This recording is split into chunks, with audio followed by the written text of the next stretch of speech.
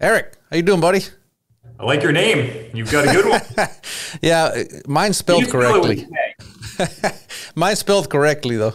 No, no, no. I don't think so. Don't That's think always so. the joke. People, because people always want to spell it wrong. Right when they spell it like with a C, I always tell them it's spelled wrong. Yeah. By definition. I, I think we have a lot more C's out there than we do K's. You know, I ask that question all the time, and you know, you're, you're definitely in the. Uh, the minority on this one. Yeah, precisely why I get my name spelled wrong all the time. It was one of my pet peeves for a very long time. Uh, uh, because I didn't want to correct people. I'm like, eh, it doesn't matter. Well, now I have high school diplomas and all kinds of stuff with my name misspelled. And then it became, uh, I better start correcting people type of thing. How often do you get CK? Anyone from South America, I notice all my, like all our partners in South America, they always spell my name E R I C K, and I go it's, it's E R I C, but right. it's, it's, just kind of I think standard. I I don't get CK very often, um, but I did get it. I hired a laser guy to run my laser engraver, yeah. and I had a flashlight. I said, "Here, you can practice on this," and I gave him my flashlight. I said, "Just just put my name on there." He spelled it CK. Oh, nice. Runa, Runa, two hundred dollars surefire. That's nice of him. And I said, uh, so I, what I did, I had to kind of put a border around it and, and, go over it and then redo it. But he, he felt so bad. He's he just he just made an assumption, which is oh, happens. It happens. It's good to be on with you, buddy. It's good to be on. Big, big fan of everything you do and everything you love. I love, and uh, it's awesome where do you start in the shooting sports? I know you. I know you're a trigger puller. You know, it's a, a long, complicated thing. And by, and by, the way, you, you, don't know how relieved I am to do this. Most of the interviews I do are either on Fox News or CNN or you know talking about politics. And you know, this is you know, shooting's always been my passion. My grandfather was a big outdoorsman. He's a big fisherman and everything else. But he got Don and I BB guns when we were you know five, six years old, and we spent a lot of time shooting each other, uh, which is. wasn't wasn't ideal, right? It's, we always had a one pump rule, you know, but then you'd run behind a bush and you'd just hear the other guy just, you know, jacking up the the BB guns. But, you know, to me, if you, if you could get up, you know, one of those milk cartons, you'll probably remember them of BBs as a kid. That was like the greatest gift ever. And from there, we got our first 1022. I'll never forget it. I actually still have the gun, but it's, uh, you know, just blued walnut iron sights, no scope, no anything. Had this kind of pleather camo, you know, kind of cover on it, very, you know, early 90s. And we shot that gun. I mean, God, I want to say hundreds of thousands of rounds. We just put brick after brick after brick through that gun. And that was kind of our entry into long range shooting. This was Greenwich, Connecticut. If you were shooting 22s in Greenwich, Connecticut today, you'd go to jail, right? But there was a buoy in the Long Island Sound about 215 yards outside a, a window. And we'd sit down in this window and, you know, the sights weren't on. And you'd have to hold obviously way high, way left. And, you know, if you hit the buoy, maybe a little piece of foam would go flying off of the thing. And, uh, but Don and I just, I mean, we just shot that 1022. It was just great, great memories together as brothers. And, um, you know, we had a, a, a very kind of different childhood being who my father was. We had, you know, guys around us and, you know, some of the military and they got me into the pistol stuff. I started taking the pistol stuff really seriously and um, met a lot of people in the industry and then started taking the rifle stuff seriously, started traveling all over the country, you know, shooting shotgun and, um, you know, did some kind of competitive shotgun and then went back to rifle and, uh, did some stuff at Williamsport in Pennsylvania, some of the, the thousand yard shoots, and you know met a lot of the guys who shot out there, the, the Hart family, Hart Barrels, but uh, the cousins who were you know the gunsmithing side of that um, became pretty influential in my life and really got me you know into it in a you know in a meaningful way, and um, you know kind of took it from there. I became a, a, nut. You know, every two years I'd fall in love with something else. You know. Um, might be sporting clays one year, it might be side by sides the next year. Then it was pistols, and um, you know, then it was a long range rifle, and then I'd go back to shotguns and back to the rifles. But you know, rifles have always kind of been my my thing. It's what I love. I'm you know anal by nature. It's kind of what we do every single day for work, running hotels and you know mm-hmm. running kind of spotless operations. I'm just kind of a very anal person, and there's always something about that you know precision accuracy that I just kind of fell in love with it. You know, for, for me, my yoga, you know, some people like to get away and sit on a beach. My yoga is sitting there doing, you know, load development on, on a rifle I built. And, you know, it's probably no different than, than you. It's just uh, who I am, what I love. Um, you know, if, I, if I'm not working, that's what I'm doing. It's very interesting that you, you call that kind of your therapy because it is. At least to me, it is. Uh, I'm sure a lot of people will feel the same way. Uh, sometimes when, when I'm just fed up or just whatever, stressed out, I tell my wife, I'm going to the reloading room. Yep. And sometimes I just sit there and master cases. I don't have to be actually doing anything. It might just just be taking my mind off of whatever's going on, and it's very relaxing. I'm, I'm the same way in my room. My, my my wife will tell you that's kind of my certainly the man cave, but it's kind of my sanctum, and it's it's set up perfectly, right? And you know maybe maybe that goes back to kind of the analness of it, but it's just everything's the right spot, set up absolutely perfectly, and uh, and I love it. I've taken a lot of, I've gone down a lot of rabbit holes, you know, in kind of the precision rifle thing. I used to love the the super small calibers. So um, I grew up shooting a lot of the, the 17 calibers and 14 calibers and all this crazy stuff that you had to form. And mm-hmm. I think as you get older and you get busier in life, you, you know, you kind of maybe lose a little bit of the patience for, you know, taking some 22 Hornet and, you know, chopping it down and, you know, forming it down to a 14 caliber and turning necks and doing all that crap. And um, but I loved it. Right. So I shot, you know, everything from literally, you know, 14 squirrels and 14 Ackley Hornets and things like that, all the way up to, you know, the big boys. And, uh, but I've just, I've always, I've always loved that game. I've always loved building a rifle and then getting it to shoot in one hole. And, you know, so oftentimes once that's done, I'm kind of bored and, you know, want to move on to the next project, if that makes sense. It's like, like right, right when the gun's hammering, right when it's shooting through the same hole, right when everything is perfect you know, I always load up at least 100 rounds. It drives me crazy to have a you know half filled box of ammo, right? So like I, I like I like keeping them filled, and you know a lot of times I'll do that, and then I'll literally move on to the next project. That's kind of the the problem that I also have, except except with competition. I I like finding a good load, and then I can just stick with that. But for fun, I I went through that for so long where just about the time I start shooting small, you go, what if I tried a different bullet? Or what if I did this? Or what if I did whatever? It's just something because because then now the journey's over, right? Once it shoots tiny, what do you do then? Go shoot it. But if you enjoy reloading, you're gonna mess around, play around with different things. Well, you know, today it's easy though, right? So, so when I started, I, you know, I, I was definitely on the forefront of the long range stuff. I mean, I remember obviously we were all shooting Remington, true Remington actions. If you were really, if you were really fancy, you were, you know, you might have had some kind of barrel block on some heavy McMillan 50 caliber stock or something that you modified into some you know big target rifle. That's what we used to shoot at you know Williamsport. The you know a bunch of times I shot there and you know, but we were shooting 300 Weatherby. You know, like the the stud bullet at the time was the 240 Match King, right? Which I doubt anybody's shooting anymore, right? With the Bergers and everything else, and you know, Remington brass, you know, kind of crap brass. You you spend all this time weighing and sorting and you know tuning up brass and um, you know, do you remember the the, the 36x Leupolds. You know, I mean, you look at those compared to the scopes coming on the market today, right? It's just yeah, different. the fixed the fixed power, fixed power, no zero stops, no anything. You know, one inch tubes. Um, I mean, go through it. I remember when the you know the Vari-X threes came out, the you know the eight and a half to twenty fives, and that was like you know revolutionary and. And then how you look at the scopes, you look at these tangent thetas and the zero compromise and all this stuff. It, it just, it's a different world today. And it, it's almost in a certain way taking a little bit of fun out of it because it's your barrels are better, your actions are better, your stocks are better, your bullets are better, your powders are better. I mean, everything's better, and it, the, the guns just they just shoot. It, it it doesn't seem like you need to work as hard today to get them to shoot as you certainly did back then. I'm going to agree with that, but I'm also going to disagree a little because there's still and I know your background, so so we're going to get into that. But the reason you it, it's only going to work if it's built right and that is oftentimes the assumption that is made that the gun is right. Oh, it's a custom rifle. It's right, so it's going to shoot. And then they blame everything on their reloading, on their skill, but never do they blame the rifle because the assumption is it's right.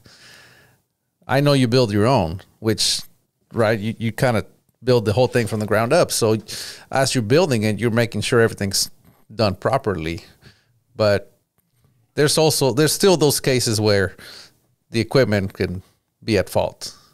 There's there's no question, and I went down that rabbit hole as well. I kind of built my own. I, I can't tell you how many times I went out and you know tried to build something, and then you get it back, and you're just not you're not fully happy with it. And I think it was kind of part of again, not to use the, the word the third time, but kind of my anal personality. I kind of wanted to to own the process from you know from left to right, and um, I met, uh, I mentioned it before, but the Harts and you know, they were pretty pivotal. I'd be in college and just would want to escape for a weekend. So, you know, go up, shoot long range. They became pretty good friends of ours. And you know, and then it's, hey, do you want to go bed rifles for five hours because they had customer rifles to do? And sure, you know, so all of a sudden you're bedding a bunch of rifles and, you know, all of a sudden you're uh, turning threads on barrels and other things. And those guys were kind of pivotal in my life. And, you know, as I got older and I could afford it, I kind of put together my own shop and, you know, now I do it for myself. And I, I think you're right. The, the assumption is that everything that you got back then um, was perfect. And, you know, it, it probably, it probably wasn't. Now, I remember shooting six PPCs and other things back then that were shooting through the same hole every single time. So they were clearly doing something right in terms of components and bullets and, you know, but it's, uh, man, it, it, it seems like we're in the heyday. It seems like we are in the absolute heyday of awesome components and um, and actions and scopes and rings and, and everything else. You know, I mean, people are just taking it to the extreme and. Um, well, assuming that you can find the components.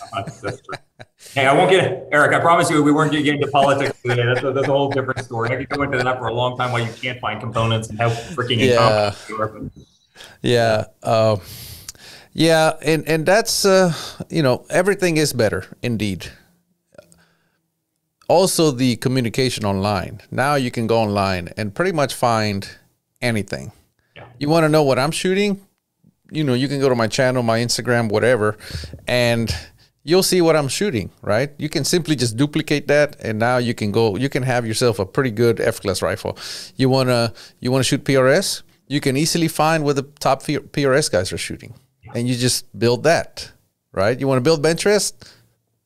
It's real easy to find out what they're shooting. Build that, right? So it it really helps narrow down the the hunt for the perfect rifle.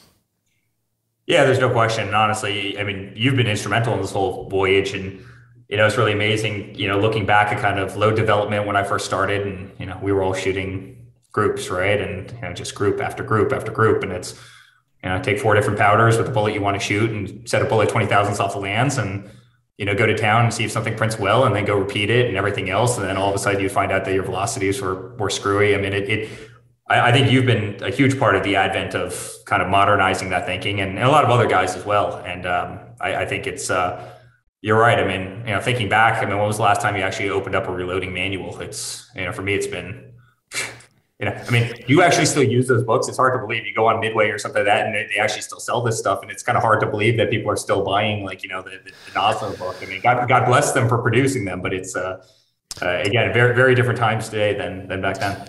Yeah, absolutely. I mean, anything you want, and, and, and they're updated live, not live, but pretty, pretty regularly on the website, right? You want to shoot a Vihtavuori powder, go to vihtavuori.com. There's the loads. You want to shoot, shoot a Hodgdon powder, go to the website. You want to, whatever, it's there.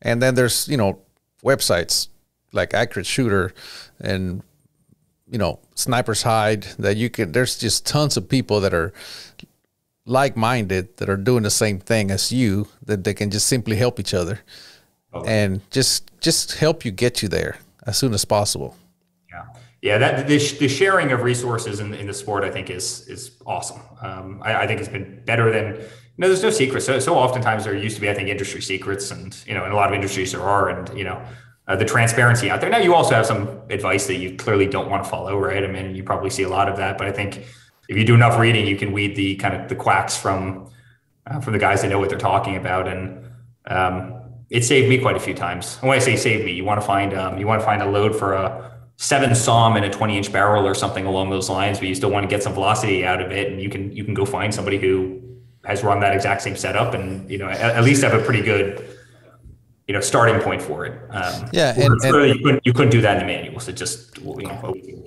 correct, and that's where people like you or I come in because we like to tinker, right? And we're the ones that are you know, and people like us that are experimenting with a really short barrel with a really overboard cartridge, right? Just for fun.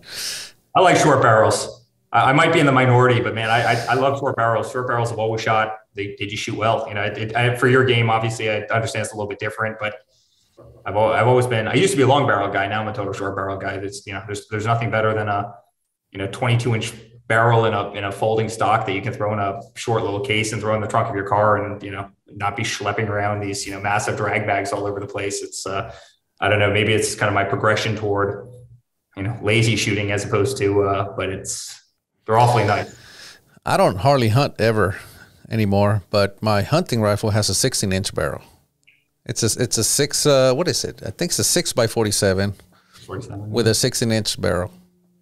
Awesome. I throw I throw a suppressor on there and it's still pretty short. You know. So I just moved. Talking about suppressors, I just moved down to uh, the great state of Florida. I was I was living in communism in New York for a long time, and um, the suppressor world is like the greatest thing ever. It's another another benefit to running short barrels because obviously you're adding seven eight inches to the front, but it's uh, you get spoiled awfully quickly shooting cans on every, you know on everything long range. I, I shoot a I shoot a dasher and um, it's got a PRS setup, uh, but you put a you put a can on that and it's I mean you may as well be shooting that that BB gun that we were talking about at the beginning of the show. It's just it's it's so nice, you know.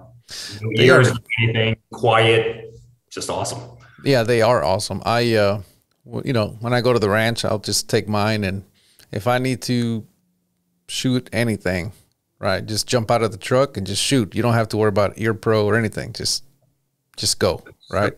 Hogs, we have a huge hog problem here. So that's the main thing that when I go out there, I'm ready because when they're there, you got to get rid of them because they are just tearing up the place. But anyway, that's another story. Got a couple pigs down in, in, in, Texas. We've uh, we've helped you. We've helped you. Just yeah, you should have shot more. They are everywhere. Crazy. Now, so you, why did you get into rifle building? You kind of talked about the Harts, kind of, yeah, helping them out and learning. But at what point did you say, you know what, I, I just need to do this for myself?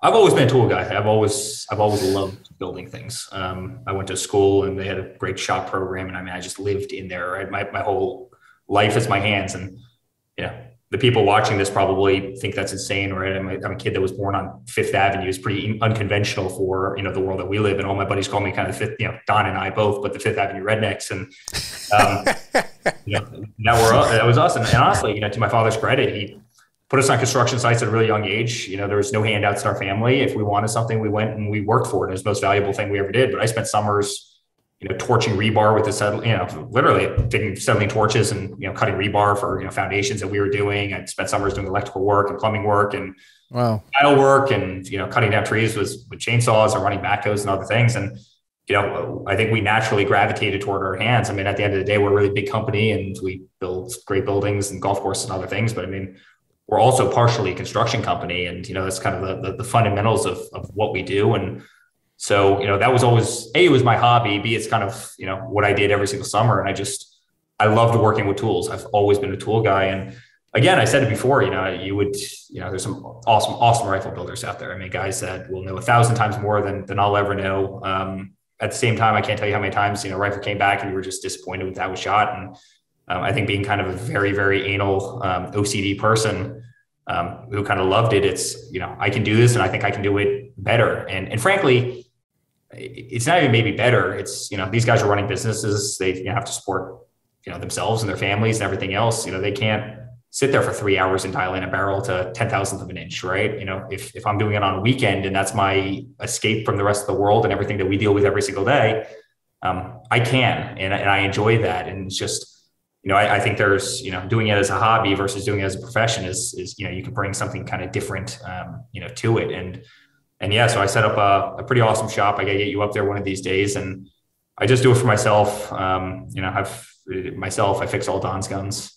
His guns oftentimes need to be fixed. Eric, it's uh, uh, yeah, he's the greatest. He loves this world as well, and um, and uh, you know, barrels barrels a couple things for you know a couple friends, just you know, helping them out. And uh, but I uh, you know, I, I largely do it for myself, just out of my passion, and um, it's been a lot of fun and you know, it's it's great. I mean, kind of back to you know barrels and components and other things. It's and I remember when you had to order an action and you know you'd order a bat or something along those lines and it would take you know 12 15 months to get and by the time you got the action you were already bored and onto you know whatever else you wanted to do and you know kind of the advent of you know so many manufacturers who are actually keeping actions in stock and a little bit of standardization but more companies coming out with greater products and and everything else and and, and same thing with barrels i mean you probably did this more than I did, where you know you you would order Kriegers what you know 12 months in advance because it would take them a while to kind of crank them out. And you know, shit, today you can go on Grizzly, you can go on Altus, you can go on you know any of these things, you know, hundred different places, local, right? You can you can buy a barrel and have it shipped to your house. You have it two days later, and you know you're still interested in the project two days later, as opposed to you know buying a barrel blank and a twist or you know um, you know um, or that you, you, just don't care about anymore. And so yeah, that, so that's really, that's really, helped things tremendously. I mean, it has, and uh, you know, there's still uh, what what has changed for me is obviously now I order large quantities because I have already settled down on what you know what I'm going to use. I'm like I'm going to use a seven millimeter one and nine twist, 32 inch, inch 250. I order 10 to 15 barrels. Okay, because in a in the competition world, it's slightly different. For example, the World Championships coming up next year. You don't chamber one barrel and burn it out and then chamber another one, especially when the world championships coming up. You chamber three, four, five of them, and then you work up a load on all five of them. And then you, because you want to find hopefully the one that's better than all the rest, right? Because some, something as important as a world championship. But uh, but I have learned to standardize everything. I actually built a 7 by 47 Lapua PRS rifle so that I can use my leftover F class rifle, uh, F class barrels because they're 32 inches long. Yeah, cut them down six inches. Cut off six inches off the back, and now I got a fresh barrel, and then I use that for PRS. Smart. And then I get to use all my bullets that I didn't quite find quite find to be as good possibly for competition because you know I sort every it's it can be a pretty boring a pretty boring thing but all that stuff gets reused. But you know, that's how I kind of managed to do this. I have massive respect for that. When, when we did some of the, the thousand yard bench rest stuff, it's you know you were sorting everything, but again, you know you're firing ten shots, right? And versus what you guys shoot today, I couldn't imagine sorting the amount that you guys have to sort for what you do. Again, I you know most of my long range stuff is shooting steel at you know thousand yards or twelve hundred yards with you know six millimeters and you know fun, but it's you know you, you don't need to be nearly as I mean, I'm a, I'm a meticulous person. I'm a, you know, but I'm, I'm not at the point where I'm sorting bullets anymore. I just, I'm, I'm not sure if I, if I have that, if I have that up here, it's, uh, I commend you, my friend. I really do. Yeah. It's, uh, it's one of those things that I don't like doing, but it's a, it needs to be done. I like sorting bullets more than I like losing. So, yeah. Oh, yes. I, I sort the bullets. I'd be sorting bullets if I was in your world as well. So, yeah. Well, now I have Jason. Jason helps me out with a lot of this stuff. So, uh, he does a lot of the work for me, which is it's just been so easy. Okay, easy is not the correct. It's been so much better because he gets a lot of the stuff ready, uh, and we go shoot. Now I have a shooting partner. We go shoot together, so a lot of it is fun. Uh, it's it's. I'm trying to put the fun back into it because it, it got to be a, a lot of work. Like yeah, monotonous. Yeah, and uh, but anyway, but there's also a lot of tools that are coming out nowadays. You know, right. talk about sorting bullets and all that. Well, now there's tools that that you know. Uh, I think Accuracy One just released one where it's a uh, you sort bullets base to tip, and it's so easy, so fast, and you know. And the other thing is, we're starting to realize things that don't really matter anymore. Like we used to measure base to old ogive, and the Bergers are so consistent that we figured out, you know what, it doesn't need to be done anymore. So take that step off. Take that off the table. Okay, brass sorting. Well, Lapua's brass is so good that we figured out. Well, guess what? You don't have to sort the brass either. Great, I don't have to do that. What about weight sorting bullets? Well, and uh, see, all this has been tested. It's not like I just one day decided I'm not going to do it. It's all been tested and proven, at least to myself, that it doesn't need to be done. So guess what? It doesn't get done.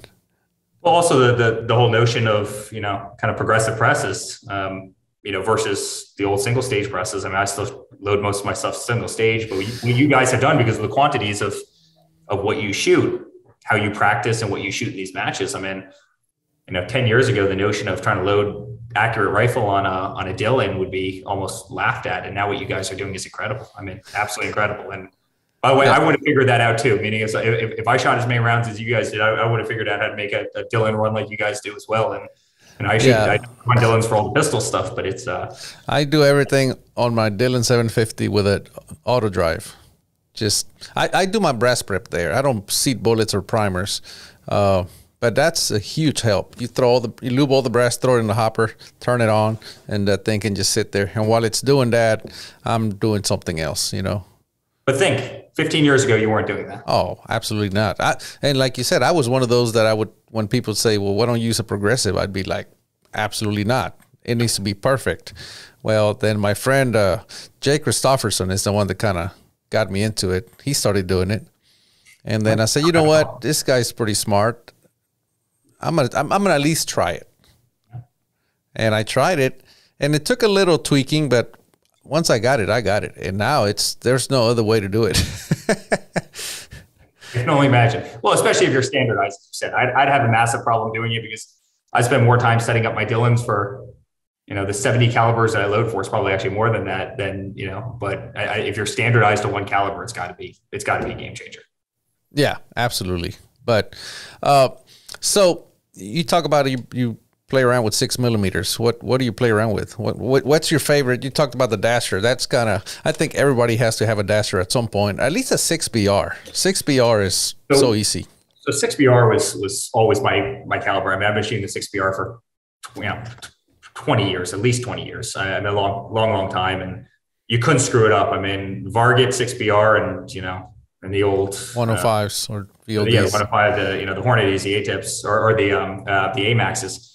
I mean, you just couldn't beat that combination. I mean, mm-hmm. They always shot, and um, I didn't really want to get into the dasher because I got sick of you know, forming brass from when I was doing all the 17 stuff, the 17 and 20 calibers and 14 calibers and everything. At that point, I was kind of over fire forming brass, and then a great company called Alpha comes out and they make dasher brass, and I'm like, I am 100% in. And so I, I, shoot I shoot a lot of BRs. I, I, love the BR. I still think it's one of the great calibers ever. If I think if I had one six millimeters, probably that. It's just it's so easy. If you can't get it to shoot, you're doing something horribly wrong. Um, they're just awesome. But I, I, love my dashers. I mean, but I shoot the BRX. I shoot you know I, I shoot the six Creedmoor. I love that caliber. I shoot the the six GT. Um, just built a, a gun six GT a couple months ago and you know that's been that's been fantastic as well. Um, you know, I shoot the 647, I shoot the 6547. Um, I kind of shoot all of them. I mean, I'm not sure if there's, I'm really not sure if there's a six millimeter that I, I shot the Hagar for a while out of a gas gun. Um, I, am not sure if there's a six millimeter. I probably haven't played with in some, some capacity. I've just, I've always, I've always loved that bore. I've always loved that, you know, caliber and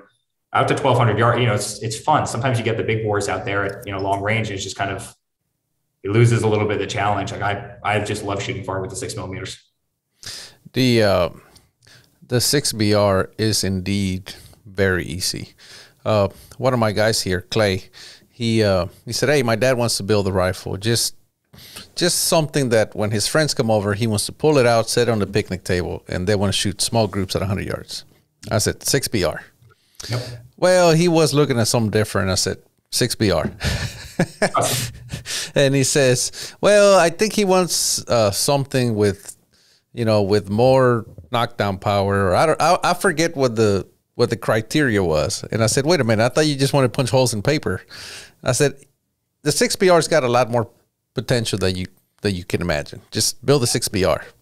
Well, I don't know. I said, here. I open my safe. I pull out my six BR. Hand him a box of ammo. I said, here, take it to your dad. Have him shoot it. Comes back.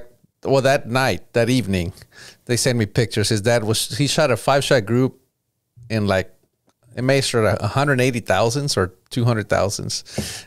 And guess what? He's building 6BR now. he wasn't even a shooter, right? Yeah. And he said, he grew up in the and he wasn't a shooter. He yeah. said, uh,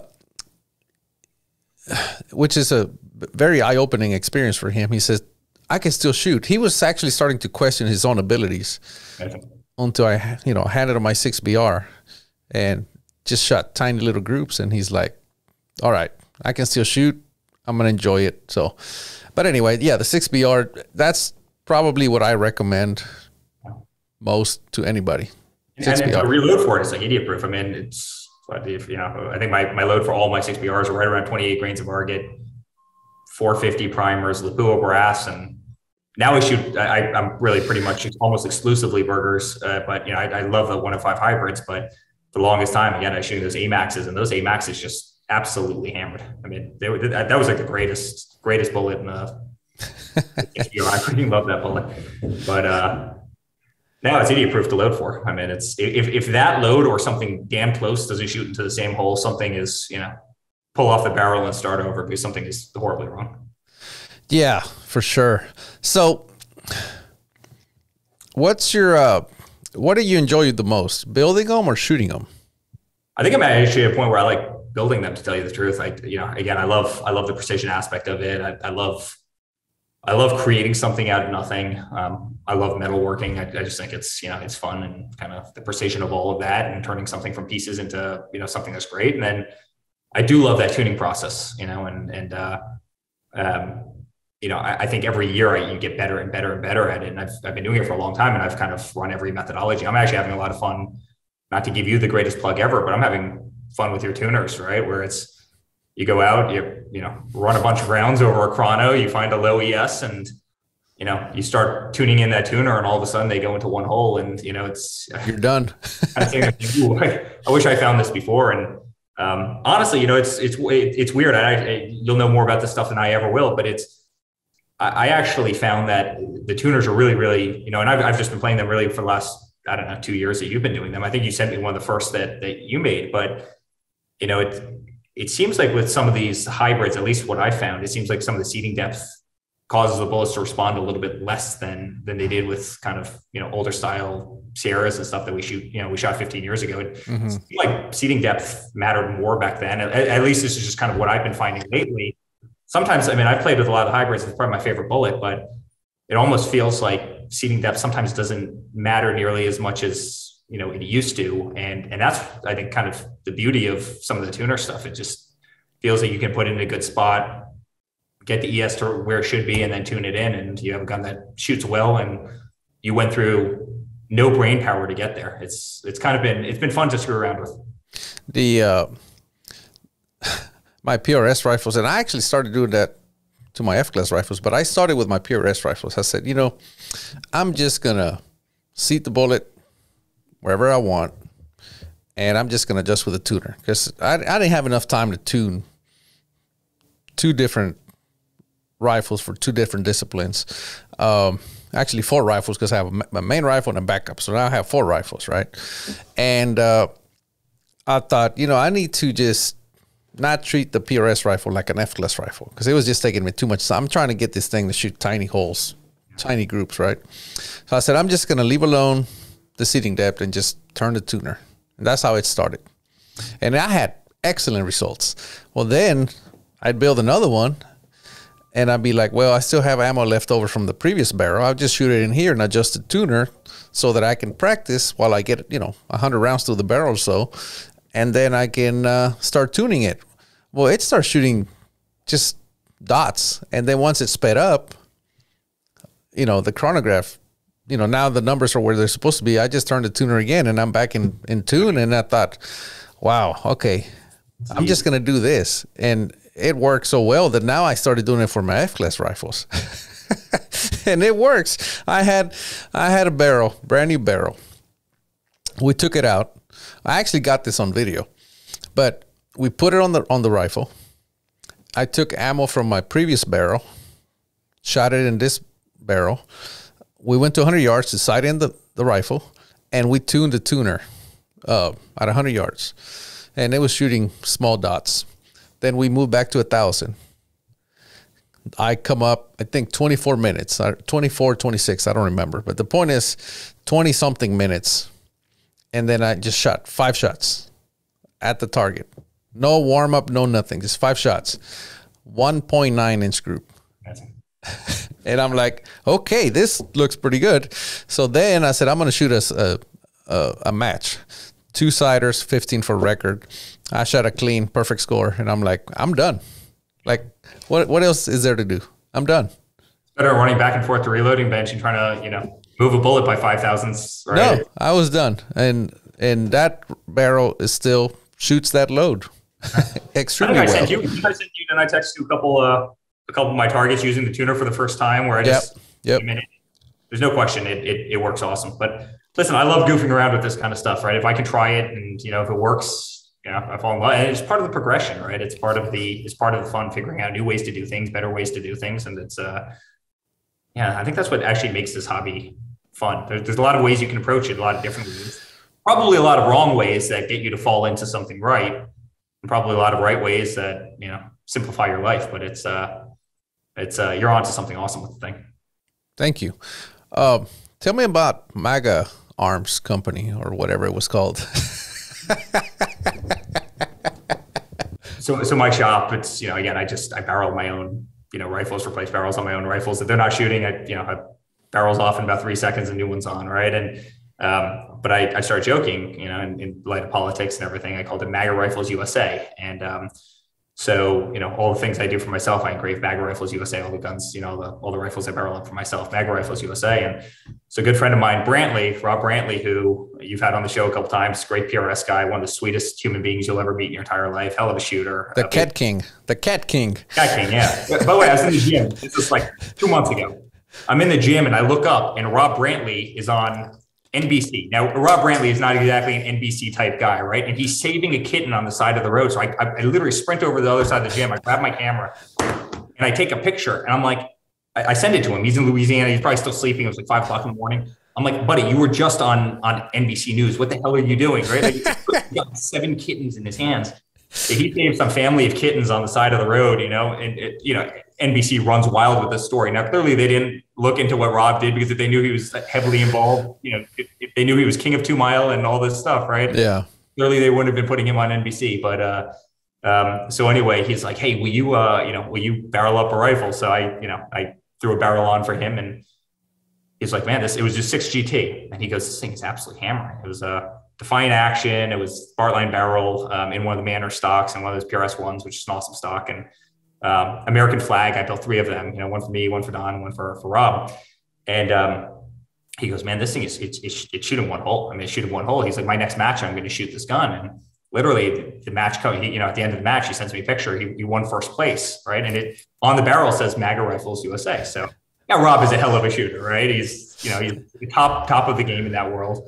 I'm like, how cool is that? Literally, a you know, rifle that came out of my shop, just you know, won one of the big PRS matches, and a couple weeks later, he goes to another match and 450 shooters. Might have been Altus or one of those, but came in like sixth again shooting. He's like, this gun is absolutely hammering. I can't, I can't miss with the gun. And so he starts shooting this American flag, red, white, and blue, built by Eric Trump, you know, you know, rifle that says MAGA Rifles USA. But people kept on saying to him, they go, Rob, what the hell is MAGA Rifles USA? Goes, don't worry about it. A little unlisted shop, you know, really small little gunsmith. You know, you can't even find their number online. And, you know, soon enough, I think among you know among his friends and our our little crowd, it, you know, it became kind of a running joke that it was, um, you know, it was me that you know sent him the barrel, did all his barrel work and stuff. But uh, he's a he's a fantastic guy, and it just uh, it became a little bit of a running joke. So um, you're not going to see any barrels out there that say MAGA Rifles USA, other than maybe his uh, his and a couple on on Don's, but. Um, yeah, it became a f- fun little thing for us. Yeah, I remember you had me engrave the tuner brakes also. That's right. On the on the bottom. That was fun. yeah, there you go. Um, By the way, this is your 47th podcast. That's that's what I heard. Yeah, so I told you uh, this is was supposed to be the 46th, right? But I before I even decided, uh, you know, that this that you're going to be on, uh, I had already decided that I was not going to have a 46th episode because just I didn't want that disaster. I it, that is that is a very unlucky number. So I had already decided, and it just so happened that you would have been 46, but I had already decided I wasn't going to have it. So you're 47. So number 47, Trump. Maybe that means something. Hopefully, let's hope it means something because what these guys are, you know, it's, it was really, and I, I'm not going into politics at all, but it's you know, I've told you a little bit of our story, my story, you know, kind of starting out really, really young into shooting sports, BB guns, etc. And man, the thing that kept me, if you look at all my friends, right, I, I, grew up in New York City. I want nothing to do with New York City anymore, but I, I grew up in New York City. Three quarters of the kids that I knew um, growing up, rehab, drug problems, serious, serious issues, right? And you actually look at what saved me. And I, by the way, who was a better candidate to fall down that road than, than me, right? Like and you, and you look at let me look at my counterpart that's you know what saved me i mean the shooting sports the hunting sports fishing you know we were in the woods at five o'clock in the morning guess what that meant we weren't drinking until four o'clock in the morning. Like we were, we'd go to bed early, We'd get up early, we were in nature. Um, and for some reason, they never want to credit the shooting industries with that. And actually, I think it's something that shooting, you know, the shooting sports do a poor job. Like I'm telling you, the, the shooting sports saved me from that world. I, I could have been one of those statistics so easily. And, and I wasn't because of my love and my passion and discipline. And, and by the way, really good role models who were awesome people who took me under the wing, um, you know, got me to some of these matches, got me to the Williamsport War, you know, got me chambering rifles, like not doing drugs, not screwing off, not getting in trouble, not getting arrested. And, um, you know, for some reason, you know, our sport never wants to tell that story, and that's sad. It is, and uh, you know, there's memes floating around saying, you know, if you want, if you want your kid to not never do drugs, get yeah. them into guns because they won't have any money left. But it's actually truth, it, and it needs to not be told as a joke. It needs to be told as a as a lesson.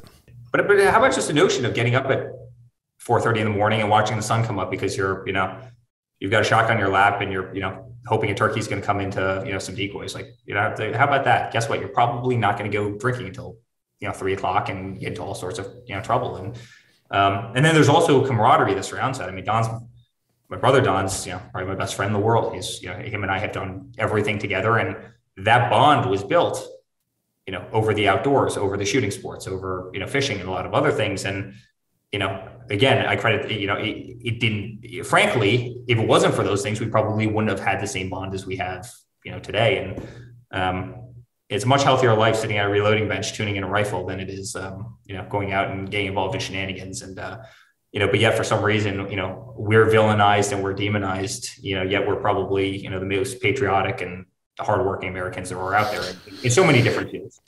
It's uh, safest. It's quite sad that patriot being a patriot nowadays is by many seen seemed like a bad thing.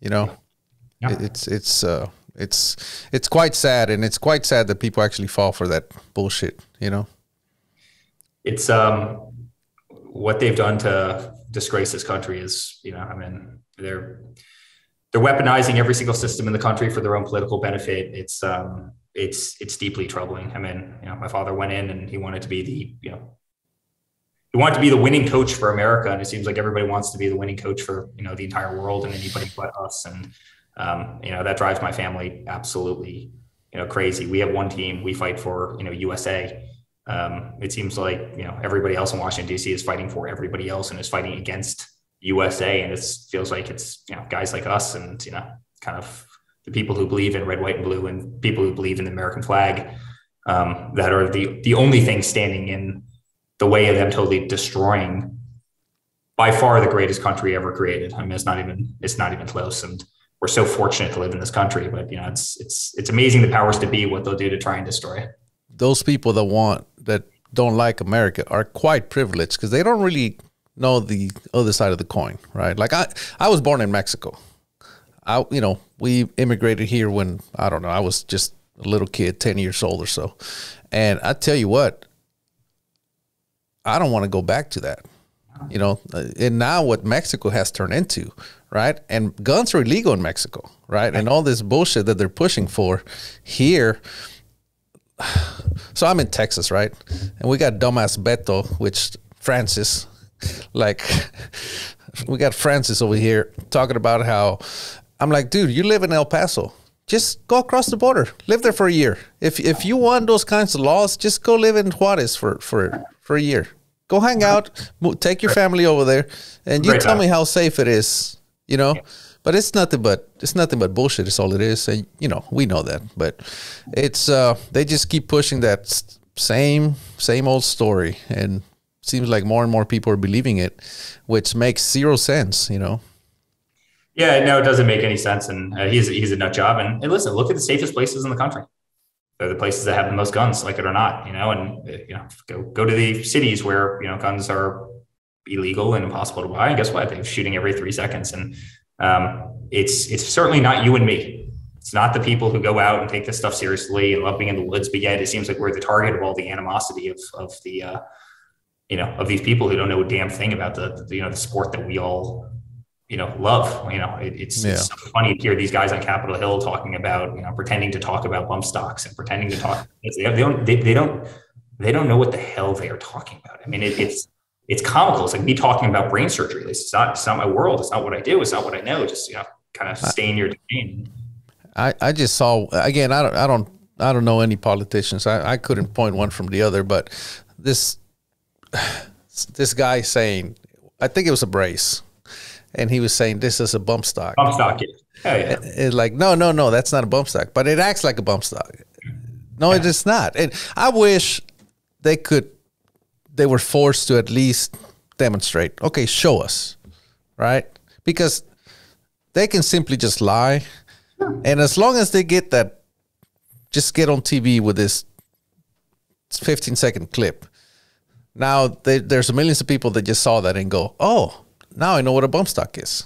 Right. But you know, the, the, arrogance of the people to not, at least even talk to somebody about writing their line ahead of time so they don't sound like complete idiots, right? You know, if you're going to be, it's, uh, you know, if you're going to be ignorant toward an issue, at least try and disguise it in a way that doesn't make you look like a, you know, a fool. And I mean, how many times have you seen people on Capitol Hill, you know, the, uh, the semi-automatic muzzle loaders and the, I mean, how it's, it's hard to believe, right? The, uh, um, what did Biden say? The the AR forty seven isn't that what he called it? Some right? like something like that. I'm, really, I'm, really, glad he's writing our you know firearms. I, I, listen, man, I was just surprised he put a sentence together. Okay, give him some credit.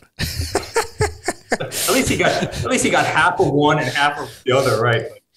No, I, got, I mean it's, it's infuriating because again, I, I, really do believe that the most patriotic, some of the greatest, most patriotic people in the world are, are the gun owners and you know they'd be the first people to run into that school god forbid um, you know something was happening. They would be the first people to defend this country. They you know i mean they, they do bleed red white and blue. They don't cause any issues. They're, they're hardworking whatever industry they are. And you know yet they're they're they're villainized by people who just you know have have no idea. They, they know nothing about what we what we love and, and and why we love it. They've never had the experience. They've never they've never been there themselves. And frankly it probably would have done a lot of them very good had they had uh, had they had actually tried it out. The hypocrisy is what gets me. Like I, I told you, I'm not a very political person. I just believe, I just, what I do, kind of like my podcast, believe the target. I, I just based on my own experience is kind of, kind of how I how I operate, and um, but imagine if that laptop was yours or Don's. You know that that Hunter's laptop Oh my God. I've got my laptop right here. I, I, can I can promise I can I can promise two things that if I was stupid enough to ever have smoked crystal meth or the hookers or you know and all the other things that he did, all the illegal deals, I wouldn't be dumb enough to have it on my laptop. Let's just start there. But beyond that, you know, like my parents were great parents, and you know, like I, we just weren't going to go down that road. Like we, we were not going to go down that road. We would have been thrown out of the family so quickly. We would have been, you know, I mean, we were put on construction sites. We were we were disciplined. We were grounded. Um, but had the roles been reversed, right? It's not always the parents, by the way. It's, it's definitely not always the parents. There's some great parents that end up having, you know, challenged kids. But um, had the roles been reversed, Eric, I'm telling you, I'd be in jail. I mean, there's no question about it. It's not even that I'd be in jail. I would I would have been in jail. I wouldn't even had it, right? And you know, they come after me every single day. They come after our family every single day. I mean, they subpoena us. I mean, the second my father went down that escalator, they start sending us subpoena after subpoena after subpoena, and you know, send us every email that you've ever sent with the letter, you know, with the you know the word "the" in it, with a comma. I mean, literally, you know, we tens and tens of millions of emails because we're great company and great family and never had any problems, never had any issues. I mean, they would just try and find anything, try and find a crime, try and, I mean, the, the, Russia stuff. I mean, I, I was the guy that got that call know, I hear that you know you have a secret server in the basement of your building that communicates directly with a Russian bank. I go, I don't know anything about Russia. I don't have any friends in Russia. Like we don't have any lenders in Russia. Like we're like an American real estate company with some couple assets overseas. Like what, what are you what are you people talking about? You know, so the guy obviously leaves the FBI, tells them this, calls up the New York Times, calls up the Washington Post, and you know Trump has a secret server and the FBI investigates. So they call me. You know, Washington Post calls me. I I hear you have a secret server in Trump Tower in the basement that talks to a Russia bank. I go, what, what are you people? What are you people talking about? You know, first of all, like, who's dumb enough to keep a server in a basement because you know basements flood? Like, who keeps so like let's like start there. Second of all, we're like largely cloud based. All right, so like you know let's kind of ignore those two facts. Second of all, like I don't even know any. But like the, these people are perverse. They'll make up anything that they possibly can, and yet they come after us every single day. You know, yet the guy that has a laptop full of, you know, just bad deals around the world, really kind of awful looking things, taking money from Ukrainian energy companies and Chinese companies and other things, and all these shady deals, you know, drugs, prostitution, you know, all sorts of things. You know, nothing. I mean, absolutely nothing. And it's, uh, you know, we've got to be very careful with that as a country because, you know, I think the whole country realizes that you have a two tiered system of justice. I mean, the guy's wife threw away a loaded pistol, and I believe it was a um, shopping mart, you know, a, supermarket shopping, you know, uh, uh, you know, lot, parking lot. Could you imagine if Laura Trump grabbed a pistol, a loaded pistol, and threw it away in a garbage can in a parking lot of some supermarket or whatever the hell it was? I mean, you don't think she'd be in jail for that? You don't think I'd be in jail for that? I mean, if, if I lied on a yellow form, you don't think I'd be in jail for for lying on that? That you know, I, if I had real substance abuse problems and they were scattered all over my laptop and I lied on a federal form, Eric, I'd be in jail tomorrow. Like, eh, yeah. You know, but yeah, I have no doubt. The, rule, the, rules for thee and not for me, right? Well, that's where. Uh, well, now they now they don't like Elon Musk, right? they used to love him. I I chuckle every time I see he's trolling the shit out of him, and I love it because cracked me up because you know he he was like you know he was like the model citizen of you know the environment because he was doing electric cars, even though they need coal and oil right. and natural gas, obviously, to, to charge those cars, right? Everybody forgets about that part. And we get all, you know, the lithium and other materials from China in order to make those batteries. But I mean, he was he was like the darling child of, of the left for the longest time because you know here's you know and now the other day I was watching TV and you know somebody goes if you drive a Tesla you may as well be wearing a MAGA hat and I go it's, it's amazing how in like four months this whole thing turned around because the guy just believes in freedom of speech no different than us right and he thinks it's wrong that you know Twitter is literally throwing the ex-president, you know, maybe the most popular president of all time off of their platform while allowing the Ayatollah of Iran to stay on that platform. You know, and he thinks there's something wrong with that, but because he thinks there's something wrong with that, it means that uh, you know anybody who drives a Tesla must be, you know, I, I mean, it's like insanity. It's it's absolute insanity. So so Don sent me his book uh, one day and I just posted on my Instagram. Holy crap. Holy crap. Here's the worst part. Wait, among your followers, holy crap? I, oh, I'm I, sorry. I'm sorry. This was on my other channel. Ah, your other my, channel. My, my, my building channel, my Texas Barndominiums when I was building. I forgot. Uh, so anyway, I put it there and oh my God, so many people were just pissed off, right? How many people were happy? And uh, here's the they, they don't see it. They, they literally do not see their own hypocrisy because they were saying, You are Mexican. You are supposed to hate them. And I'm like, Wait a minute. Wait a minute. I can't have my own opinions nowadays because I'm Mexican. I'm supposed to, you know what I'm saying? So now they're telling me. So I have white people telling me that because I am Mexican, I am supposed to hate certain people. And I'm like, do you not see the racism in that? like, do you not see it? The, but they don't. I don't know. They, they, they did that with the Hispanic vote, and we won. You know, uh, I mean, there were there were places that we won that had never been won before, like Miami Dade County, and you know, so many other places. Like, you know, the the way the Hispanic vote came over to Trump was unbelievable. The way the African American vote came over the Republican Party for the first time was was unbelievable because people are sick and tired of being told what what to think, what to do, what to say, especially when the policies of the other side clearly weren't working. I mean, you know, look at look at all the cities that have been run by you know Democrats for 70 years, and you can't walk down the street without getting shot by you know some illegal gun. Like that, that's a real real problem, right? And you know, like clearly the policies aren't working. Otherwise, the cities would be in a lot better shape than they are. And you know, yet you know you have to continue to vote for us because we tell you you'll be racist if you don't. I mean, it's it's crazy what did he say? If if uh, what did Biden say? If you're black and you don't know who to vote for, you're not black. Something like that. Something uh, yeah. Some some you know, idiotic. If, if, if, you don't vote for me, you're not. Yeah, you're not black. Something along those. Something idiotic like that. But uh, I don't know if this is indi- any indication of anything. But back, uh, when did when did your dad run? 2016. 16. I was in the minority. Like I couldn't around my gatherings, family gatherings, and friends, I couldn't, I couldn't say that I was pro Trump, right? Um, but I, but I would. just because I couldn't didn't mean I didn't. Uh, but anyway, so you know, it was I was in the minority. Now I am no longer in the minority. I think people are waking up and starting to see the the real, the real, the real deal. You know what I mean? You know, I, I think I think in time he'll want to be known for a lot of things. He's a great developer, you know, phenomenal president, and everything else. But I think what he's actually done to educate the country about so many things that were kind of being hidden by the media and being hidden out of plain sight by the politicians.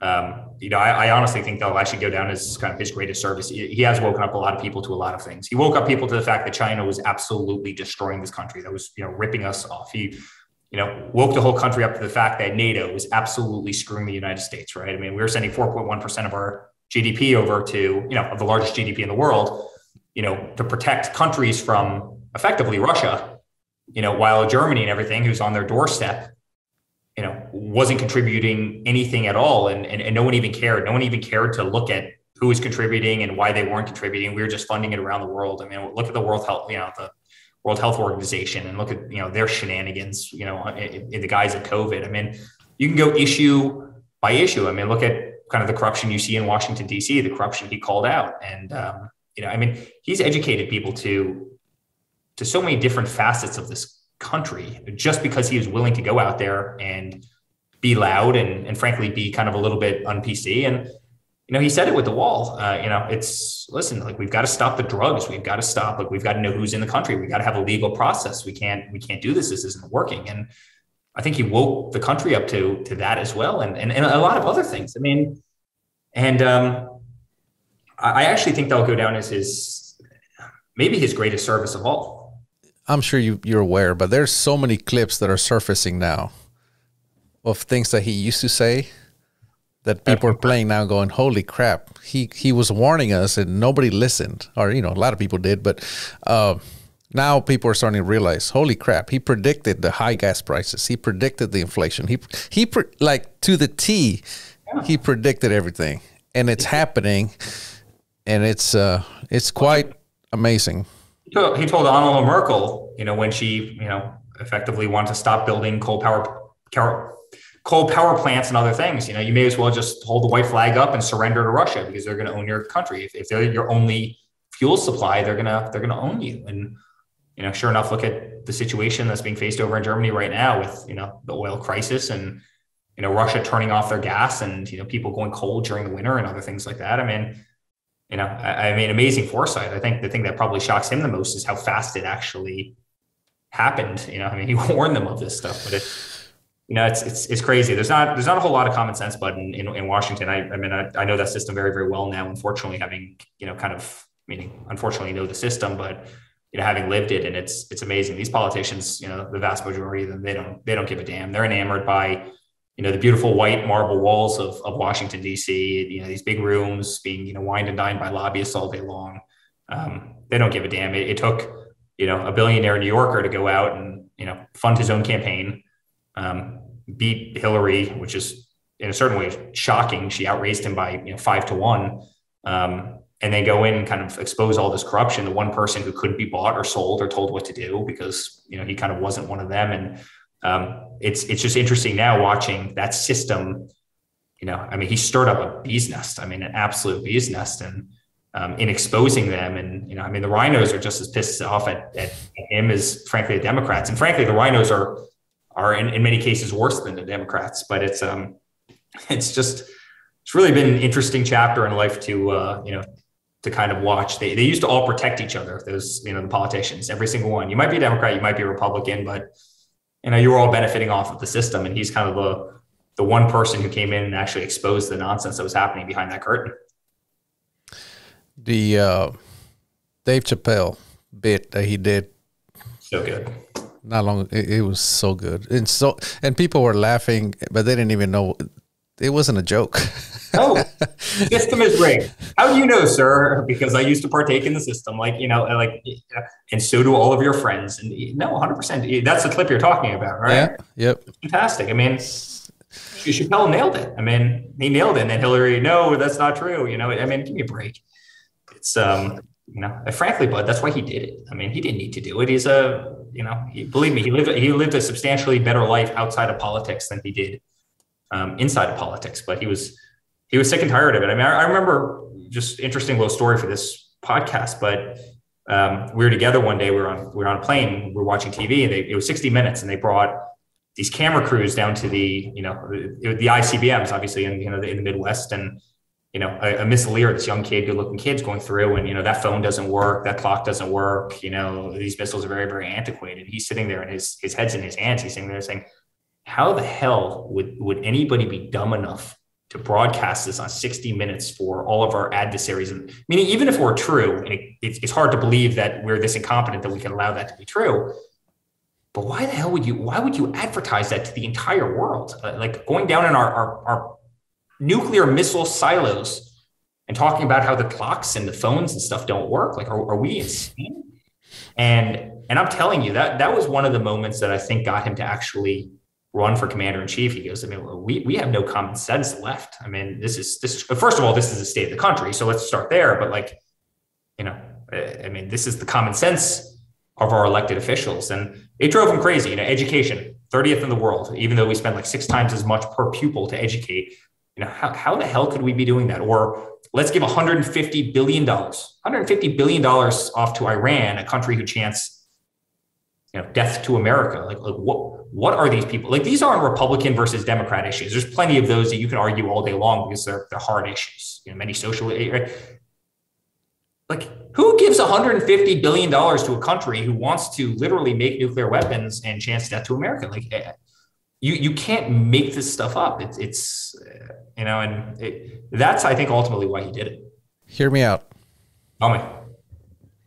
Trump Primer Company. By the way, back to a much more fun. I, I just I just landed 4,000 450 CCI 450s and like you know of, of all places Bass Pro. Oh wow! In there. I forget what I needed. And I'm walking down the reloading aisle, which normally has like you know two sets of RCBS dies and like you know some like corn cob media. And um, I look over and there's just a case. It's like yeah, half gone now of, of, of 450s. I'm like, steal. Absolutely. I'll take all, you know, I, I took all of it. So the, the point is, at least until now, I mean, hopefully things are freeing up a little bit, but no, we, uh, you know, Trump primer company would be, would be great. Um, Trump, uh, Varget, Varget company would be awfully nice right now. Uh, Trump barrels. Uh, I tell barrels. you, man, barrels are starting to, uh, get there in a sense of lead times. I use Brux and, uh, I called Ken last week, and I said, Ken, I need some barrels bad. 12 months. Ken, it's me. It's me. It's me. I, you know, I, I wear your name on my shirt. He said, Eric, I can't put you ahead of nobody else. Like, I, I can't do that. 12 months. Oh. Okay, put me in, you know, but it's, uh, I had a barrel company, Eric. You would go, you'd go right to the front of the line. All right. Trump barrels happen, we're gonna. we need to make that happen because holy smokes, it's getting bad, and I don't know what it is. I honestly, well, I think I have a pretty good idea what it is. Um, with things the way they are, everybody just instead of buying one or two like we used to, now we stock up because we don't know when we're gonna get them. Right. So if everybody buys five to 10 rather than one, and it's the exact same amount of people, well, the market just grew by five to 10 times, right? It's pretty simple math. Actually, why, you know, I've actually, I've shot all the barrels, you know, Grob Shooting Harts and Shilens and Liljas and, you know, Kriegers and everything else, but I'm almost exclusively Bartlein now. Um, and honestly, I just feel like they've done the best job by far. Again, I'd shoot Kriegers in a heartbeat. I think they make a phenomenal product. I'm just not willing to, to wait. All right. And, and, uh, I feel like Bartlein's done the best job of you know of stocking barrels, especially the common ones. Um, you know, you want a M24 six millimeter and a you know eight twist or something along those lines. Like you can always find one, you know, somewhere and have it to your door. That, you know, a couple days later. I, I, feel like with any of the other barrel companies, you just can't. And uh, it's you know, I, I, think it's a testament to what they've done. I mean, they make a great barrel, but you know, it's I think it's a testament to to what that company's done that they've just kept things in stock when no one else has been able to. I've actually never shot Brux for that reason. It's probably the only barrel that I've, I, I haven't played with, I haven't chambered, and it's only for that reason. I just can't, I can't get them in an adequate amount of time that, you know, it's, and again, I'm already off to the next project. Maybe that's my ADD or whatever it is. Like, you know, 12 months for a barrel, I'm, I'm onto, I'm onto a totally different discipline of rifle, right? You know, at, at that period of time. So that's tough. where I'm at. That's where I'm at with Reamers. Like we'll, we'll sit around and have this, just this crazy idea. Hey, we should do whatever, you know, because, you know, everybody here is they like we all like guns, right? So sometimes we're eating lunch and we're just sitting around going, we should build, you name it, right? Yeah. Oh yeah, let's do that. So we had this crazy idea of building a 22 PRC, right? Oh, that would be amazing. We shoot hogs with that. It'd be awesome. Just so flat shooting. Eh, gotta wait six months for a reamer. By then, like you said, it's it's you kind of on to the next thing. Yeah. Sometimes Sometimes I kid you not, I will order something. I'm like, and I say, you know what? Screw it. I'll wait. I'll just I'm just gonna place the order. I'll place the order, and by the time it comes in, I literally have I literally forgot why I ordered it or why what I was gonna do with it. oh, I've, I've done that. I've, I've ordered plenty of stocks. By the time it comes in, it's like I no longer want to build a long action anymore. I want to build a short action, and I want to do this, and I want to go this way, and I want to be a chassis as opposed to a stock, or I want to you know, again, I think that's kind of the, you know, one of the reasons that Bartlein I think has done a really, really nice job is I just I can normally find a barrel and I can normally have it there two days later and it can be on a, you know, it can be on your lathe. Yeah, yeah. I shoot the actions that I use. I use Borden actions. Jim Borden, yep. he does a great job. A great but. Uh, but he's same deal, man. He's he's backed up just like everybody else. And I was talking to Tate, uh, Tate Streeter from uh, Impact Precision, yeah. and he's uh, he's growing. He's uh, he was going to move his shop, and now he said, man, and now it just became an expansion, just because of people just he he he refuses to have he refuses to have a long lead time, which is I respect him for that. He's uh, that's to me that's the way to go. It seems like they've standardized a lot of that stuff. I mean, I remember again going back to the BATs and stuff, and I love their actions, but it's you had 20 different models, and do you want, you know, do you want a round or do you want a, you know, do you want an octagonal action? Do you want, you know, it, there are so many different options. You want, you know, uh, you know, left port, right feed. You want, you know, I mean, there there's so many different combinations, and now, you know, a lot of companies have come out created a great product, but guess what? You know, you go to Zermatt Arms and you buy a TL3, and you know, and, and you plop out the bolt face, right? And you, you know, you can you can have one action that runs, you know, a lot of yeah. different calibers with a, you know, with a forty dollar, you know, bolt head switch. It's it's I, I, think I think a lot of companies have been very very smart about kind of limiting their offerings, taking quality to like an awesome, awesome, awesome level. Um, I'm not saying that that reduces customization, or maybe it does in a certain way, but it actually allows you to get a product versus having to wait 15 months, and you know that's tough to do that's something that I personally have done here in my shop. People always say, "Hey, how come you don't make like a 9 16 thread?" Eh, I I don't because just we just don't. It's most people do not use that thread size, yeah. right? So we we don't make it. Uh, well, can you make a custom one? Oh no, because I, you know, I don't have the thread gauges. I have to stop the machine, program it, you know, and it's just it's just lost time. Um, and uh, we have a joke around the shop because uh, so we have DMG Mori machines, and a lot of people say, "Well, can, can you make whatever you name it?" And we're like, "Well, no, we can't." And they go, "Well, don't you have a CNC machine?" And I more go, complicated. and so the joke around the shop is like, "Oh yeah, let's make it. Hey Mori, make a 916 muzzle brake, kind of like Siri." Uh, so that's kind of the, the joke around the shop. But we have standardized. It's like this is what we'd make, and at least for now, you know, maybe we'll expand in the future into different different thread sizes or different things. But it's uh, even that it's really hard to keep everything in stock because the machines are running, and all of a sudden, you know, you got to make this and that or whatever, and keep everything in stock. And making something different it takes time to set up. It takes time to to make sure it's good. You know, it just takes too much time, in my opinion, and just just well, not worth it. Why your brakes are actually in stock, and you can go online and, and order them, right? Versus again, the age old problem that everybody had before, where you know all of a sudden it's custom order thing, and you're you're waiting. Yeah, so that was my thing. It's like it, it you know it needs to be in stock, and when we uh, when I hardly ever have sales, but like we had a Black Friday sale, and uh, and sometimes when I I don't know. I think we were moving in a machine or something. I, I went online and I, I made a video and I said, Hey, here's the deal. We like to ship like the next day if possible, right? Like we we need we like having everything in stock. But guess what? Now you're gonna have a delay of like two weeks. And because of that, I'm going to give you a coupon code, a discount, because you're gonna have to wait. Right? I feel like I owe them the courtesy the the fast shipping, fast, quick, good service. You know what I mean. And when I can't deliver that, oftentimes I try to, uh, you know, hook them up with a discount code. Sometimes we just like, for example, we have some right now. As I'm telling you this story, I'm I'm, I'm looking because I looked this morning. We had some orders that were seven days old, and that just kills me. Like literally, it it just kills me. So I asked, "What's going on here?" They said, "Well." the post office uh, lost our package that went to Black Nitride because all the holiday shipping is going on. Mm-hmm. It, so we finally tracked it down, or my wife got on them. And what happened is they didn't lose it; they just hadn't gotten to it. Nice of them.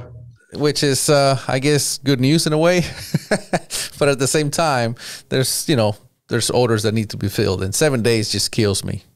But anyway, that's kind of how we like to operate. Have it in stock and go.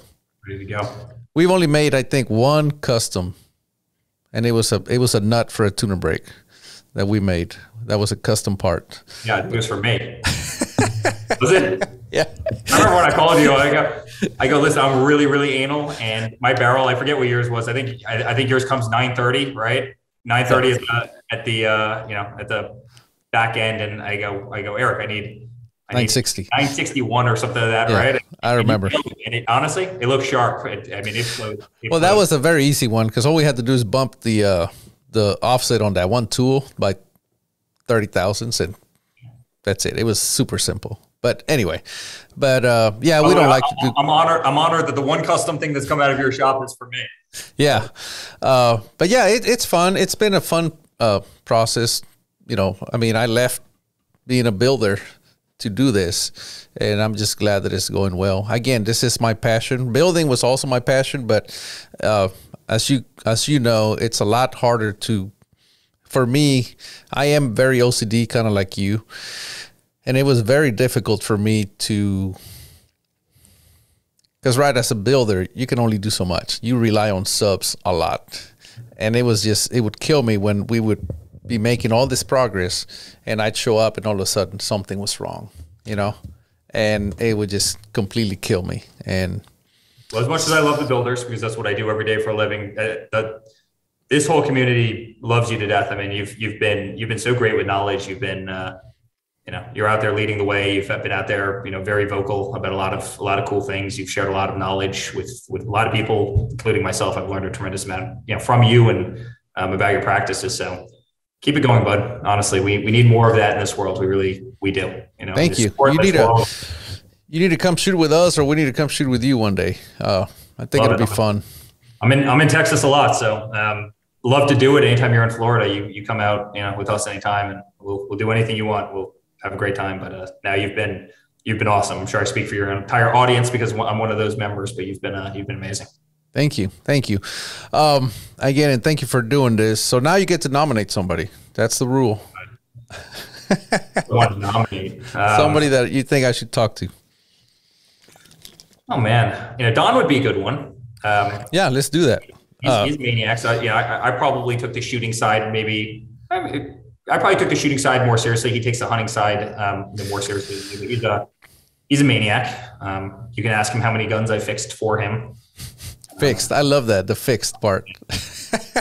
um, oh, I could. He's he's the greatest, and he's he's a hell of a shot. He's a great, great, great guy. But like, you know, but I can't get this rifle to shoot. And I go, why can't you get it to shoot? It looks like a perfectly good rifle, right? And how about this? I'll trade you this 1911 or whatever for this rifle, you know, and we do some kind of like brotherly swap, and um, you know, take it home, take it apart, tighten it, tighten Just a dirty. few up, tighten a few, uh, you know, scope base. You know, it's like it's like, ooh, this thing's jiggling back and forth. And then you go out and you shoot into one hole, so you, you can you can bust his chops a little bit when you have him on. Um, I'll, tell him to, to jump on at some point, but uh, no, he's a he's a wonderful guy. He's a hell of a hunter. He travels all over the world. I mean, he's really um, incredibly passionate. So he'd be uh, he'd be right up there at the top of the list.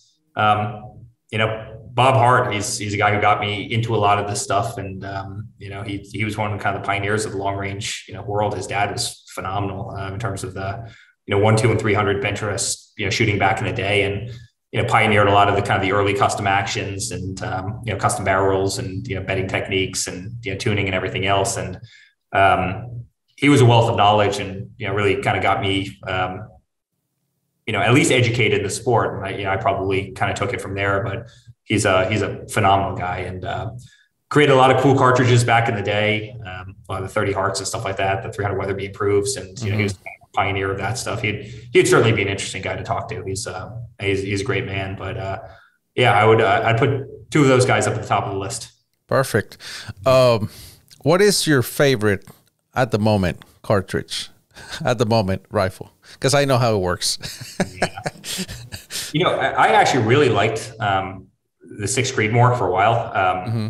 I, I, shot that, and I just have one of the rifles I built with it. It's absolutely hammers. And, and by the way, I call it my lazy man rifle because I just shoot you know, the factory Hornady, the, you know, whatever it is, the 108 ELD match. And, and that it just shoots into one hole every single time. And so if you didn't want to load, if you want to be lazy, and I load for everything else. I mean, I other than the six five Creedmoor, I, I think I load for everything else. And um, that gun just absolutely hammered. I love the dashers. The dashers great. I, I love the you know six GTs. Um, I like the 300 PRC a lot in a long action. I've been mm-hmm. I've been mm-hmm. shooting a lot of you know I always love the 300 Winchester shooting heavy bullets, and you know the PRC almost made it even you know simpler. And so um, you know that's a gun that gets a lot of use. Um, you know, so all of those. And truthfully, I know this is gonna sound funny. Um, I like going back to standard two, you know, two two three, you know, shooting heavy bullets, 77s or you know, 80s. Um, and and I like pulling out the 308 still. You know, it's sometimes fun stretching a 308 to you know a thousand yards on steel and actually having wind matter, right? Versus yeah, yeah. You know, some of the some of the long action stuff where it matters a lot less. And so um, you know, but I, I enjoy it all. I mean, I, I used to enjoy shooting the 14 calibers and 17 calibers and you know, I'll, I'll shoot the the CheyTacs and you know the 50s, and I'll shoot everything between. But again, my uh, my fun zone has always been kind of you know the six millimeters. Um, one one other, in fact, I I, I love the uh, I love the 22 Creedmoor. I've been having a lot of fun with that as well, and I'm shooting that. Uh, what are they? The uh, the 88 fives.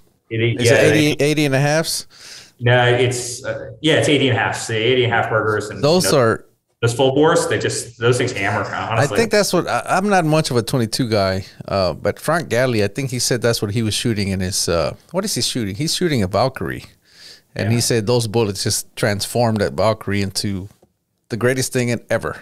yeah, they're awesome. Uh, they're awesome. They, they, woke up that 22 Creedmoor. I, I, I, couldn't I couldn't get another brand of bullets to shoot. Um, a brand that I really like, and I, I went to uh, I went to, to those 80 and halves and that gun absolutely hammers. It's fun to shoot far, you know, because again, wind matters. And so um, I'm having fun with everything. I'm building a, a seven SAUM right now. Um, yeah, another seven SAUM. Really like that caliber a lot. And yeah, I have fun. I have fun with everything. And, you know, some point I'd like to build a you know proper King of Two mile gun. I love I love shooting at super far, and so uh, you know love to get out to one of those matches in the next couple years. And um, yeah, so you know whatever the voyage of the day is, I, I do. Yeah, I've had Paul Phillips on. I'm gonna have him on again, and obviously Robert Brantley, and yeah. it's it's amazing, like how far they shoot. Because you know they some of these matches they have them over at Whittington Center, and when we shoot F class there, they they have pointed out to me where the targets are. Holy crap! Just so far. It's, it's uh I, I think it's almost the coolest discipline of shooting now. You know, to me, I just love that. You know, kind of unknown range, different angles. You know, far shoot a massive cartridge. Big, caliber has to be properly tuned. It kind of kind of pulls in all the aspects of all the disciplines in a certain way into one. You know, and you know you have to be precision, but you have to you know understand all the other variables, right? And it's uh, kind of fun. Yeah, the wind definitely matters there. Totally everything matters. yeah, it's uh yeah, I've I've been approached multiple times by different people asking if I want to go shoot that and I would love to, but right now I'm too too busy with F class with a world championship coming up, and I just know I'm very. If I go and I like it, I'm gonna have a really hard time putting it down. You know what I mean? Oh yeah, yeah. And, and by the way, and then and then the F class stuff will suffer. Oh yeah, and I, I can't afford that right now, but uh, I see that in my future, building a big. Well, you saw my lathe. I, I put the that Yeah. I put that T bass on my big machine. It's the greatest thing that's ever happened to the trucks. uh, and I put it on there. So, because Speedy was here about a week or two ago, he was here, and he was asking me about the spindle bore in my lathe, and he says, because you know for ELR barrels, and I said, uh, no, my little lathe's not big enough. I said, but my big lathe has a three-inch spindle bore. So I called him when I was making that adapter plate for the T-Bass. I said, how big do these ELR barrels get? Like the absolute maximum. He said two inch. So we made the the through bore 2.1 inches just in case I ever want to chamber a two inch barrel. I can do it. I love it. I love it. It's The- it's the crazy. Oh, it's it's massive. Yeah. So So yeah, we just made it ourselves. I mean, again, we sit around eating lunch, going, what can we do now? why why can't we just chamber barrels over here? Like, well, it it uh, it would require that we make a plate and this. So what? We have the machines to do it. A. Yeah. And then here's the funny thing: it's like call the metal supplier, see if they can get us a nine inch piece of freaking metal, right? By we needed anywhere about three inches would do. And uh, I said, once we hear the cost, we're gonna absolutely abandon the idea. All right, so so Matt calls my machinist. He calls him up and he goes, "You're not gonna believe this. They actually have a three inch piece, nine inch by three, laying on the floor there. It's like I don't know, two hundred dollars or something. Go get it. it was just meant to be. I'm like, ah, go get it. I'll start writing the program and By, by the way, think about how much time you're going to save chambering. Uh, you know, your 15 Brux. Yeah. Well, see, that's No the other thing. I got to thinking, and I'm like, you know what? Once I set it up, Oh, totally. I'm gonna. What I really want to do, because this this uh, because it has a milling head, I want to do like the the the gun drill they call it, right? Where you spin the chuck one way and the reamer the other way, because that's supposed to give you the ultimate in concentricity, right? Because if you have a reamer that that let's say one flute is sharper than the others, Sure. it's gonna want to cut more on that side, right? So it's gonna want to deviate, and because the the flute's always at, the same place, it's gonna cut your chamber oversized, or it, it's gonna want to start doing this number, right? But now if you're spinning it at the same time as you spin this one, it gives you the ultimate in concentricity. So I'm Have like, you tried this or is it just theory now? no, no, this is uh, if you're doing like this is how barrels are drilled and all that gun drilled because you have to spin them different directions. No, but have you have you tried this on the machine? We're about to. I love it. I video. we uh the the problem that we're having right now is we don't have a way to hold the reamer because i'm gonna i'm gonna hold it I- i have my uh floating Yeah. uh, reamer holder but obviously if i'm gonna be spinning it i don't want that so it's gonna it has to be solid uh, or rigid so i was gonna put it on the milling head but then we started looking and uh, and i said oh i have a sub spindle right? So i thought the easiest way is chuck up a inch and a quarter bar in the sub spindle and drill and bore uh the the reamer holder for example right? Drill it bore it and drill and tap a, a, a set screw for the reamer and then every time i want to chamber barrel i'm just going to have to make another one but it's in it's already in the machine. You know the machine can do that in i don't know five minutes. And now i will have a perfectly concentric uh, reamer holder. When i'm done with it i'll take it out throw it away and then next time i'll just make another one. But that's and then i'm just gonna i'm just gonna do it with my sub spindle. Just bring them together turn them the opposite way. It's right, gonna be fun. When's number one coming out? uh probably i was gonna do it tomorrow but I, i'm gonna go shoot a prs match so maybe sunday and i am gonna have some time during the christmas break so that might happen But uh, I'm excited. Again, this is the type of thing that we do, right? It's it's like it's like we can easily just be happy enough with what we do and just make the same thing over and over again. And but we're always trying to. That's my nature. Always looking for the next best thing. Like, could I make it? Could I make it better? So I told Speedy about it. He's kind of like my partner in crime with these crazy gunsmithing ideas, and he's all for it. He's like, "Oh, you just have to do it." just have to do it. I'm like, well, we're gonna do it. You do it. Send me videos when you do it. I want to see this. Oh, I'm gonna say it's gonna be quite crazy. I assume. My problem is I'm gonna end up going and buying a CNC machine, which is which I need like a hole in the head, right? yeah, I tell you what, CNCs are fun. It's like anything else. It takes a while to learn them, but once you learn them, they're great. But then once you're done, it's like tuning a rifle. It's like now what? That thing yeah, just sits there. It just sits and does the same thing over and over and over again. But yeah, it's quite fun. But it'll be fun. I'll send you some videos. Send me videos, my friend. All right, man. This, this has been fun. a lot of fun. Thank yeah. you. Thanks for having me on. Again, love what you do, my friend, and uh, you know, thank you. I'll uh, I'll reach out to uh, to Don and say, hey, you've been nominated, and uh, a rule that I made up is that once you're nominated, you can't you can't, can't say no. I like I like reach, reach, out to Don. By the way, you were talking before, about before you do, give me a call and I'll give you some good ample material bust his balls with. All right. Oh, I will. All right, man. Thank you. Merry you Christmas. Happy New Year. Take care.